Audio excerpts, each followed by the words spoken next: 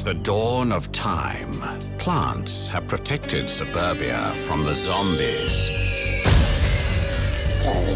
But now the world has changed. Welcome to Zomburbia.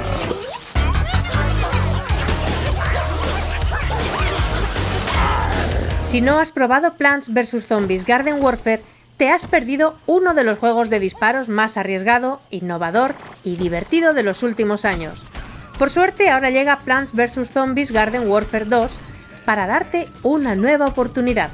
Ofrece una experiencia igual de amena y fresca y además cubre la principal laguna que tenía el primer juego, el apartado para un jugador.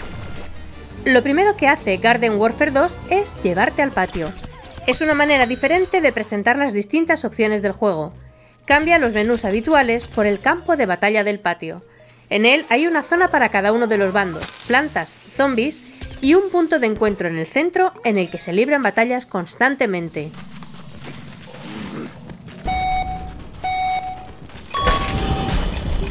Dentro de cada bando tienes las distintas zonas que activan un modo de juego u otro. Es una idea que hasta ahora no habíamos visto en ningún videojuego. Al principio parece bastante liosa, pero a los pocos minutos ya controlas el patio, de forma que vas de un área a otra sin problemas, al multijugador o a la gran novedad de Garden Warfare 2, el modo para un jugador, con una historia disparatada y llena de humor. Hay dos campañas, una para plantas y otra para zombies, y cada una de ellas tiene 20 misiones. No está nada mal. Son variadas y hasta hay alguna sorpresa.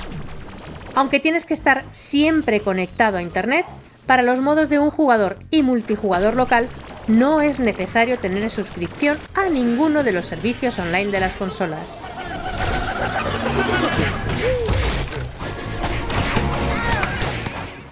Hay misiones tipo Horda en las que creas un equipo de cuatro personajes y cambias entre ellos en cualquier momento. Tampoco está nada mal este apartado. Puestos a pedir, nos hubiera gustado mucho más si hubiéramos podido recorrer la historia en cooperativo, aunque sí es cierto que puedes recorrer el patio con otros amigos y participar en el modo horda de la zona central para obtener jugosas recompensas.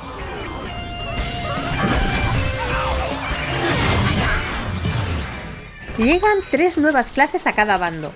Entre las plantas están el cazarrecompensas pomelo, llegado del futuro que puede transformarse en una rápida bola, la hechicera rosa, que transforma a los enemigos o los paraliza y se escapa de situaciones difíciles, y la máquina de matar mazorca, con sus dos armazorcas de repetición y un espectacular salto de maíz. Los zombies se refuerzan con el pirata capitán Mortacho, un pirata con disparo y cañonazo y un loro que puede atacar el superhéroe supercerebro, que lanza un torbellino o una bola de fuego, y Zombidito, un pequeño simpático que lleva dos armas y puede usar un mecha. Con los 8 personajes que ya había y las variaciones, en total hay más de 100 personajes diferentes, que hay que desbloquear comprando sobres de cromos con el dinero que obtienes jugando. En cuanto al multijugador, mantiene básicamente lo que vimos en la primera entrega, Operaciones de jardín es un modo horda que puedes jugar en solitario, a pantalla partida con un amigo o en equipo de 4 a través de internet. Las batallas del multijugador son hasta para 24 jugadores. Hay 12 mapas y 6 modos de juego. Puedes crear la partida a tu medida con factores muy locos como la falta de gravedad. Uno de los modos nuevos, llamado absorción de territorios, es espectacular y vibrante, aunque tal vez demasiado largo, y no es raro que las partidas duren más de 20 minutos. Consiste en ir conquistando zonas en un mapa que está creciendo constantemente. Las partidas de Plants vs Zombies Garden Warfare 2 no son las típicas de un shooter, son totalmente caóticas, y cuenta más sacar partido al personaje que ser hábil con el mando. Hay tanta variedad en los personajes y en las armas que todo es una locura, los mapas son variados, vistosos y llenos de detalles curiosos y graciosos. El apartado gráfico es realmente bueno y funciona con solidez a 60 imágenes por segundo. La peculiar y colorida estética que tiene de estilo dibujo animado nos parece preciosa. Junto con el sonido y la simpática música, transmiten la sensación de caos en los momentos de acción más intensa.